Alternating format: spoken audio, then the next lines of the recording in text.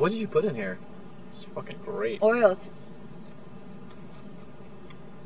She knows what's wrong, man?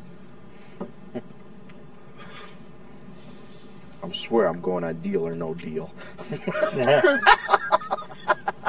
Where I just gotta pick a stupid suitcase. Yeah. It's easier. It's less stress. and it's over in 15 minutes. You gonna chop some vegetables? Either you lose and you go home. That's so good. I can't believe it. Yeah. I used to work at Dairy Queen. I used to work at Baskin Robbins. you used to make a Mr. Misty with the um, Blitzburger and put the stuff in the middle. Mm-hmm. Bet you did. Could you imagine if you went to Dairy Queen and she was working there? It was like a Dairy Queen, but it pretty didn't have that fast food. Though. It was just Yeah. ice cream. You know, Oh, really? like with us, just uh, yeah, I'd weigh 360 pounds. We'll go chop up vegetables. You have a bite? yeah. Here. Here, come on in. We'll go cook.